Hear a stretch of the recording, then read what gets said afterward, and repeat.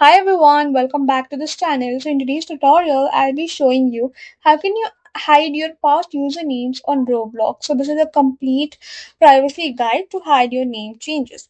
For that, you uh, cannot directly hide it. You just need to go to support and raise a ticket. Support Roblox and you need to raise a ticket. Make sure you have logged in and then you can just go to support and enter your username, first name, email address and then confirm the address.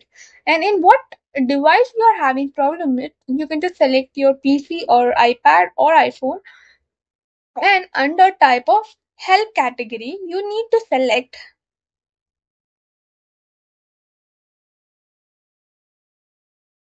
data privacy request.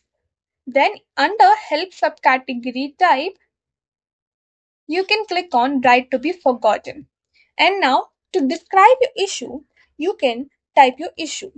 I want to remove my previous username and others should not be able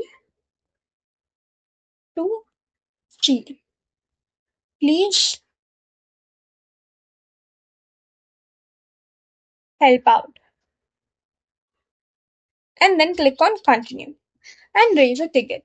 So that's how you can uh, unhide your username from others. So that's all for the video. Thank you for so that's how you can hide your past usernames on Roblox. So that's all for the video. Thank you for watching. Don't forget to like, share, comment and also to subscribe to this channel.